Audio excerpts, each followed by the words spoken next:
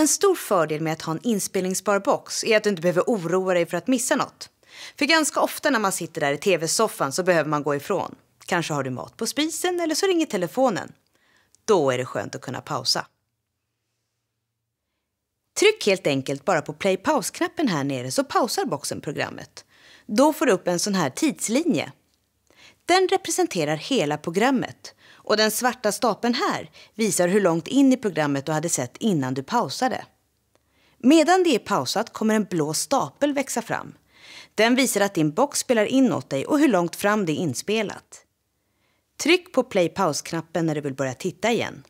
Den svarta pricken här visar var i programmet du är. Nu kan du titta på tv i din egen takt och låta boxen sköta resten.